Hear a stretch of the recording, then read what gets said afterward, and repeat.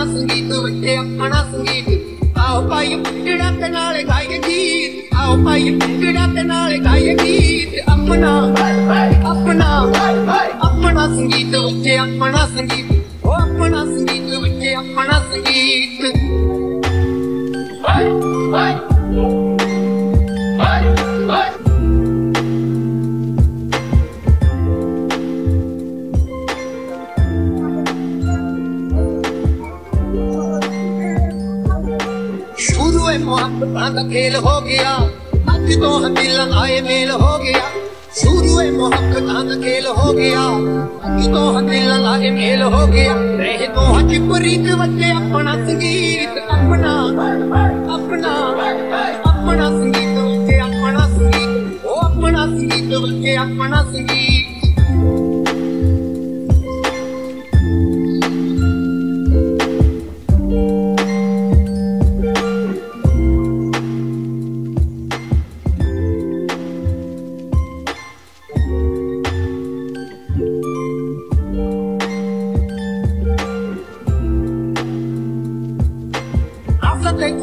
ਅੱਗ ਹੋਈਆਂ ਪੂਰੀਆਂ।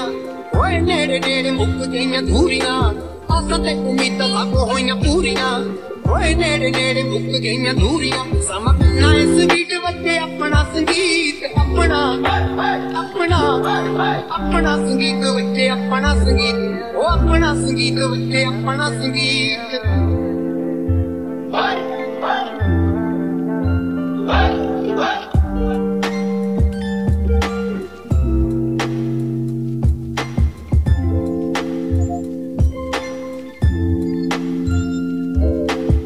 ਖੁਸ਼ੀਆਂ ਦੇ ਵਿੱਚ ਦੇਖੋ ਢੋਲ ਵੱਜ ਪਏ ਕਿਹੜੇ ਚ ਗੱਭਰੂ ਪੰਜਾਬੀ ਗੱਜ ਪਏ।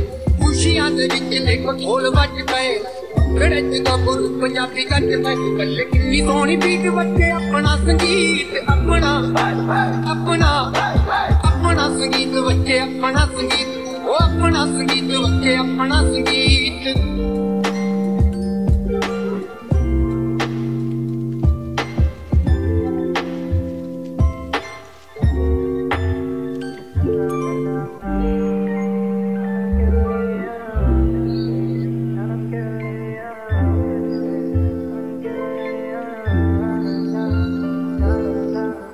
ਅੱਖੀਆਂ ਨੇ ਅੱਖੀਆਂ ਸਾਈਆਂ ਦਿੱਤੀਆਂ ਹੋ ਆਪਣਾ ਸੰਗੀਤ ਨੇ ਬਤਾਈਆਂ ਦਿੱਤੀਆਂ ਅੱਖੀਆਂ ਨੇ ਅੱਖੀਆਂ ਸਾਈਆਂ ਦਿੱਤੀਆਂ ਆਪਣਾ ਸੰਗੀਤ ਨੇ ਬਤਾਈਆਂ ਦਿੱਤੀਆਂ ਅਸਲ ਪੂਰੀ ਦਾ ਇਹ ਗੀਤ ਵੱਜੇ ਆਪਣਾ ਸੰਗੀਤ ਆਪਣਾ ਆਪਣਾ ਆਪਣਾ ਸੰਗੀਤ ਵਿੱਚੇ ਆਪਣਾ ਸੰਗੀਤ ਉਹ ਆਪਣਾ ਸੰਗੀਤ ਵਿੱਚੇ ਆਪਣਾ ਸੰਗੀਤ ਆਓ ਭਾਈ ਭੰਗੜਾ ਤੇ ਨਾਲ ਗਾਈਏ ਗੀਤ ਆਓ ਭਾਈ ਭੰਗੜਾ ਤੇ ਨਾਲ ਗਾਈਏ ਗੀਤ ਆਪਣਾ ਆਪਣਾ ਆਪਣਾ ਸੰਗੀਤ ਵਿੱਚ ਆਪਣਾ ਸੰਗੀਤ ਉਹ ਆਪਣਾ ਸੰਗੀਤ ਵਿੱਚ ਆਪਣਾ ਸੰਗੀਤ ਆਪਣਾ ਸੰਗੀਤ ਵਿੱਚ ਆਪਣਾ ਸੰਗੀਤ ਉਹ ਆਪਣਾ ਸੰਗੀਤ ਵਿੱਚ ਆਪਣਾ ਸੰਗੀਤ ਆਪਣਾ ਸੰਗੀਤ ਵਿੱਚ ਆਪਣਾ ਸੰਗੀਤ ਉਹ ਆਪਣਾ ਸੰਗੀਤ ਵਿੱਚ ਆਪਣਾ ਸੰਗੀਤ ਆਪਣਾ ਸੰਗੀਤ ਵਿੱਚ ਆਪਣਾ ਸੰਗੀਤ ਓਏ ਆਪਣਾ ਸੰਗੀਤ ਵਿੱਚ ਆਪਣਾ ਸੰਗੀਤ ਆਪਣਾ ਸੰਗੀਤ ਵਿੱਚ ਆਪਣਾ ਸੰਗੀਤ